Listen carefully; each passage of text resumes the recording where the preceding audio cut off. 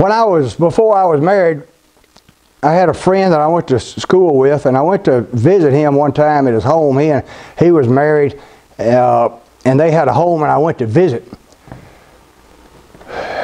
And that was back when I, man, I could eat. Don't y'all remember, you guys that have some age on us, how much we could eat? Man, I could tear some food up. And now it's just hard to eat like I used to.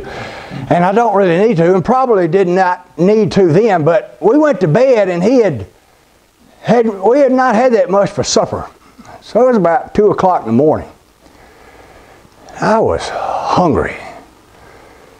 And so I got up and I was looking around and went to the refrigerator. I didn't really have much, but it had this bowl of stew there.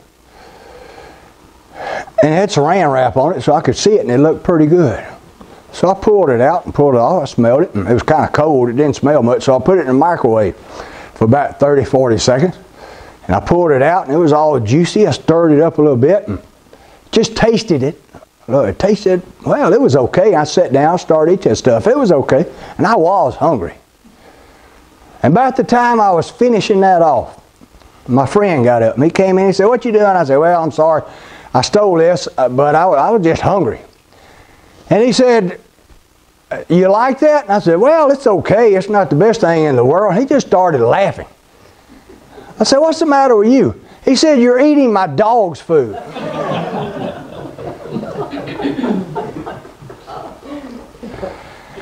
I never found out if it was Alpo or Gravy Train. I don't know. But after finding that out, I lost all interest in eating that stuff. It did not kill me.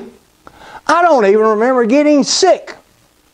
But I had no interest in eating that stuff anymore. And the point I want to make is that how many times in our life do we eat dog's food? How many times do we listen to music that's really dog food, trash food? How many times do we watch a show on TV or pay good money to go to a movie that's really dog food? It's just trash. But we'll sit there and eat it and walk away saying, well, that really wasn't that bad.